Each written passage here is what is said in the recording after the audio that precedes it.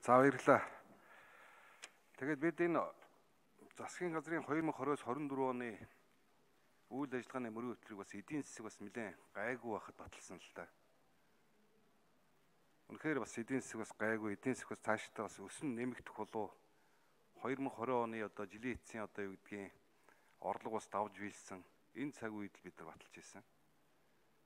Одоо бол энэ эдийн засаг хүнд болох нэ. Валютын ханш нэмэгдэж байна. Өргөн эргэлдээний барааны үн нэмэгдэж байна. Тийм учраас бид нар энэ шаардлагатай энэ хөрөнгө оруулалтаа бас эренблэх шаардлагатай байна. Одоо хүн болгоно л одоо тим тим тон төсөл, тим тим тон төсөл төсөл гэл яриад ах юм. Одоо бид нар эренблэх хэрэгтэй байна. Одоо удахгүй үйл болно. 3 4 дугаар станцаа бид нар өргөдөх хэрэгтэй байна. Энэ дулаан хангамжийн асуудал, эрчим хүчний асуудлаа шийдэх хэрэгтэй байна. Ийм байдлаар эренбэлж энэ хөрөнгө оруулалтын асуудлаа шийдээд явбал бас илүү их үр дүнтэй бахаа гэсэн бодолтой байж байна. Хоёр дахь асуудал бол энэ урд хэлчийн ер нээх юм уу нээхгүй юм уу? Хэрвээ нээхгүй гэж бол эрсдлээ ер нь бид нар яаж тооцож байгаа юм? Яаж одоо орлого олох юм? Нүүрсээ гаргаж чадахгүй л өөр одоо ямар арга замаар энэ валютын их үсрийг нэмэгдүүлэх юм? Энэ асуудал дээр бас нэг тайлбар хэлээд өгөөч. Үнэхээр одоо алт хөдөлгөөрөө хэрэгжүүлээд явах юм уу? Эсвэл одоо энэ төрийн эмчтэй компаниудаа олон нийтийн өмч чулгаж одоо тодорхой хэмжээний мөнгө цуглуулах юм уу? гэдэг асуудал дээр бас тодорхой юм шийдэл гаргаад ярих хэрэгтэй байна гэдгийг бас хэлмээр байна. Доктор сүрэн даргын бас хэлдэг бас үнэн. Энэ хамгаалалтын сайдын бас хариулж байгаа ч бас үнэн. Төв нэгээс төв гурвын одоо ажилтны асуудал байж байна. Энийг хинч мдээгүй. Ийм хүндрэл учрах юм байна гэдэг бол хинч одоо бид нар одоо багцаалдаагүй. Тийм учраас одоо ийм хүндрэл гараад байгаа юм чинь хэрвээ төсвийн тодтол явдаг бол эргээд энэ төв нэгээс төв гурвынхаа ажилтнуудаа эргүүлээ төрийн албаныхаа бүтц рүүгээ татаж явах ийм ажлыг бас зохион байгуулж бас болно шүү дээ. Тэ нэгжүүлээ өөрчилчих юм бол ингэх юм бол энэ асуудал бол шийдэгдээд явна. Тэнд ярьж байгаа хүмүүс чинь нэг цалин ус урамшуулаас гадна биднийг энэ төрийн албаны бүтцээс ингээ гаргачлаа. Нөгөө 36 сарын цалин байхгүй болгочлоо гэдэг ийм асуудал ярьж байгаа учраас энэ асуудлыг бас шийдэж бас болох болох болов гэсэн бодолтой байж байна. Ипотекийн хөнгөлтэй зээлийн хүрээнд түрүү жил 925 тэрбум төгрөгийн одоо 12 мянган зээлдэгчд зээл олгосон юм байна. Энэ одоо 2022 онд хэдэн төгрөг одоо олгохдгийг хэдэн мянган иргэдэд хэдэн тэрбум төгрөг олгохоор одоо ипотекийн зээл олгоно гэсэн ийм тооцоо байна. Энэ дээр их хариулт авах хэрэгтэй байна. Хоёрдугаар асуудал энэ инфляцийн түвшин 2021 оны жилийн эцсийн байдлаар 13.4% одоо хүрсэн гэж байна. Яг өнөөдрийн байдлаар 22 оны 1 сарын байдлаар 1-р үлрэлийн байдлаар инфляц хэдэн өвтө яваад байгаа юм. Яг өнөөдөр худалдаачид ямар одоо мессеж өгж гэнэ вөхөр валют зарахгүй байна, валют олдохгүй байна гэд.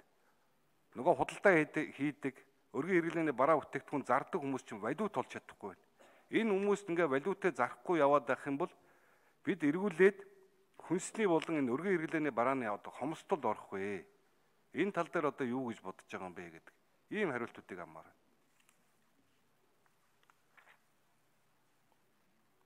За эдийн эдийн засаг хөгжлийн сайдын үргийг гүйцэтгэгч сангийн сайд болдын чухал хариулъя.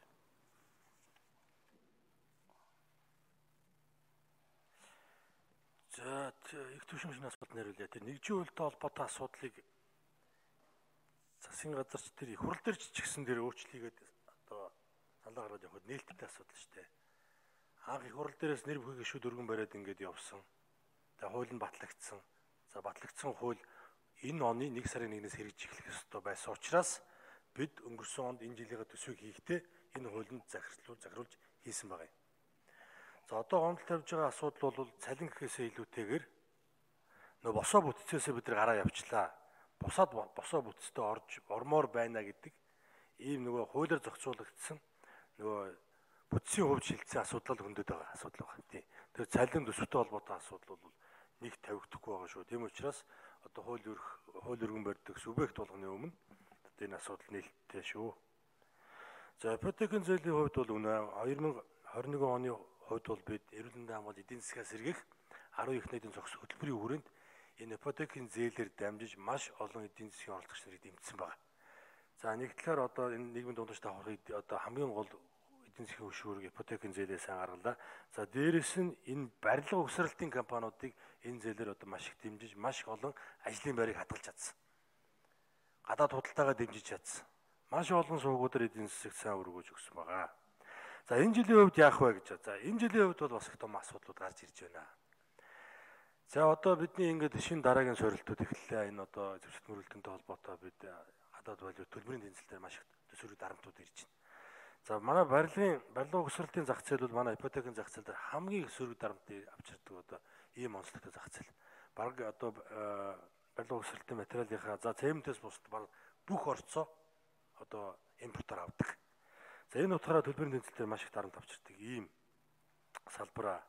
Тийм учраас энэ жил одоо энэ мөнгөний бодлого, энэ төсвийн бодлого энэнийг бол маш сайн бид одоо анзаарч харж алхмаа тааруулах хэрэгтэй юм байна. За энэ 10 их найдын хөтөлбөрийн хүрээнээс өмнө нэг жилдээ хамгийн ихтэй нэг 570 тэрбум төгрөг гарч исэн. Ипотекийн зээл дээр. За нодлоо ингээд 900 гаруй тэрбум төгрөг гарсан. За энэ жил бол тэр нэг 500 орчмоос дээш давж гарахгүй болов уу да гэсэн ийм зөөрчсөн ийм тооцоололтой байна. Энэ төв банкн дээр илүү гэсэн дэлгэрэнгүй тооцоол төсөөллүүд нь гарч явах ёстой. За өөрөөр хэлбэл энэ жилийн энэ макро гол бодлогуудтайгаа уялдуулж алхмаа тааруулна л гэж тооцоох хэрэгтэй. Өөрөөр хэлбэл ердийн үе шиг биш. Баг гарнаа л гэсэн үг.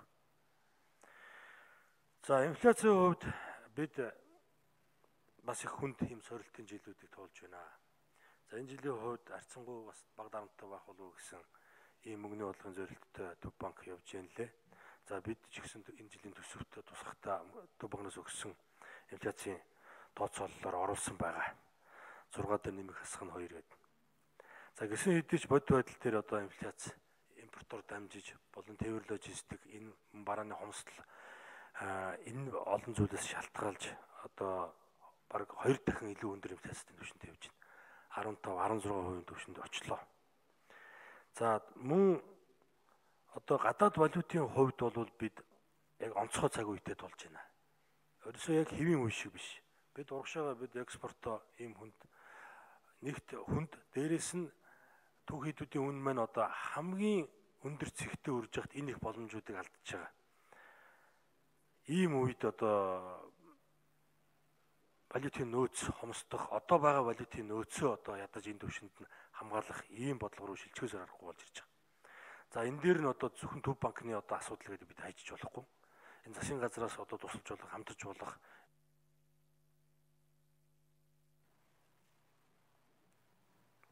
За Лувсан зэргийн Монголын гишүүн.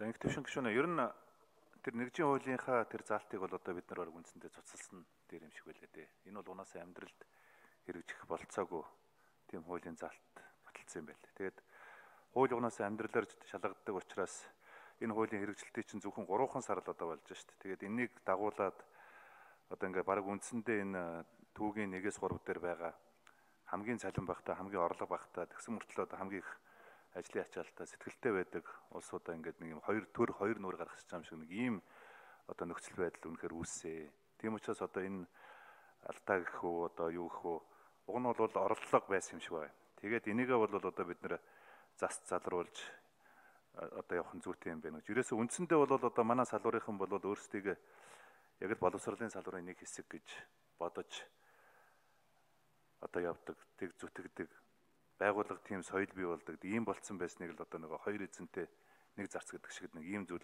нөхцөл байдал үүссэн. Энэ бол үнэхээр хуулийн тэр заалтыг хэрэгжүүлэхээс өөр сонголт байхгүйс учраас тэгээ цалингаа баг хоёр байгууллагаас авдаг юм шиг хоёр газраас авдаг юм шиг нэг ийм одоо сургууль цэцэрлэг хамт олонны уур амьсгалч гэсэн одоо сөргөөр нөлөөлж байгаа ийм зүйл байгаад байгаа юм. Тийм учраас бол үндсэндээ бол бид нар тэр хуулийнхаа заалтыг туслаад ингээд ер нь бол тэр эрүүл мэндийн салбарын түүнэгүүд нь эрүүл мэндийн салбарт тэр соёлынхын соёлынхоо боловсролынхын боловсролынхоо тэр халуун ам бүлтэй одоо байх нь хамгийн зөв шийдэл юм байна гэж харж байгаа. Хамгийн гол мас бол 20 мянган хүний асуудал энэ боловсрол дээр байгаа учраас одоо ер нь цаашдаа тэгээд нэг ховж хилцсэн юм шиг бас ингээд хөндлөнгөөс бас зарим хүмүүс ингээд санаатаагаар ингээд нэг юм өмүүлж байгаа усуд ч бас байгаа л да. Улс төрийн зорилготоор өмүүлж байгаа усуд байгаа. Гэлээ гэхдээ одоо нэгэнт Монголын төр гэж байгаа бол төрийнхөө үйлчлэгээний албанд ажиллаж байгаа энэ улсуудаа эргээд буцаад одоо энэ салбарынх нь харьяалалд нь одоо үргэлжлүүлээд аваад явах энэ шийдэл нь хамгийн одоо зөв шийдэл юм байна гэж харж байгаа.